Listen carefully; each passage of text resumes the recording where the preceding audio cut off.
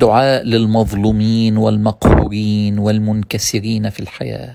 اللهم إنا نسألك بنور وجهك الذي أشرقت له الظلمات وصلح عليه أمر السماوات والأرض أن تجعلنا في حرزك وحفظك وجوارك. اللهم كن لنا ولا تكن علينا. رب إني مغلوب فانتصر.